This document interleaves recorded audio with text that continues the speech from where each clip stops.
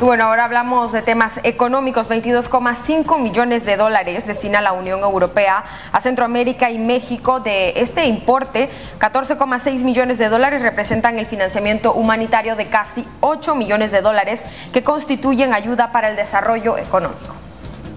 La Unión Europea anunció que asignará 22,5 millones de dólares en concepto de ayuda para Centroamérica y México, en aras de hacer frente a las necesidades más urgentes de las personas desplazadas y también facilitará ayuda de emergencia para paliar la inseguridad alimentaria en la región. El economista Marco Peña valora de positiva esta cooperación, pero considera que es necesario que sea condicionada para que dicho capital no sea utilizado con fines contrarios a sus propósitos. Es una oportunidad más para que nuestros países hagan uso de estos recursos porque sí los necesitamos y por supuesto que son recursos valiosos, son recursos que hacen falta y que vienen a bien principalmente en tiempos de crisis.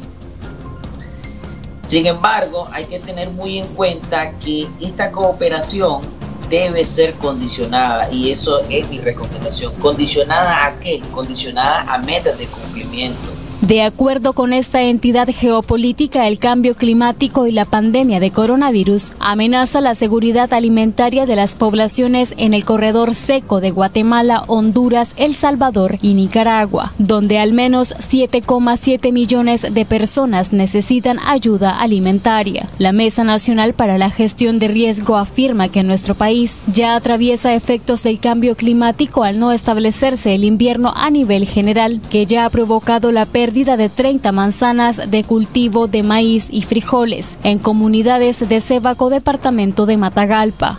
Hacen monitoreo climático, tienen establecido eh, una red de pluviómetros con la precipitación y de esta manera se puede hacer mediciones para comparar la lluvia actual con la que hubo antes y en base a eso ir conociendo la tendencia actual del clima según datos oficiales de la Comisión Europea, desde 1994 la Unión Europea ha asignado 257,4 millones de euros, que en dólares la cifra alcanza los 313,5 millones en ayuda humanitaria a Centroamérica y México. Anduriña Ortiz, Voz TV.